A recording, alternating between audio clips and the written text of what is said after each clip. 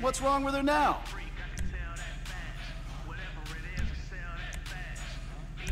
Should be running better than ever.